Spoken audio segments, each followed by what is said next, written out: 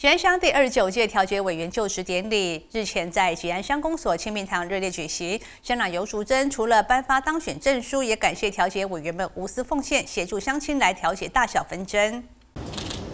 吉安乡第二十九届调解委员就职典礼日前在吉安乡公所清明堂热烈举行。为了感谢委员们平日协助乡亲度息争端，避免诉讼产生的困扰，会中也特别颁证贺匾给吕绿军、林宗胜两位届龄退休的委员，并颁发聘书给十五位新续任委员。解除明末圆满定方，调解委员会承担担任非常重要的角色，无论是大小的。呃，调解事宜，或者是要进入司法的一些前置的作业的和解，都仰赖调解委会来做执行。我们希望未来在吉安调解会。等同法院核定的这样的一个案子能够圆满，让我们的乡亲在市农工商以及日夜成婚里面所遇到的问题都不用进法院，就可以在吉安乡调解委员会里面来完成。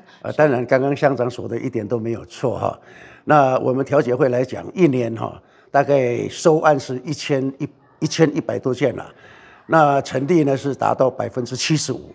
哦，当然就是说，这这一届，也就是二十九届，我们新任的这个调解委员哈，再接再厉，好为乡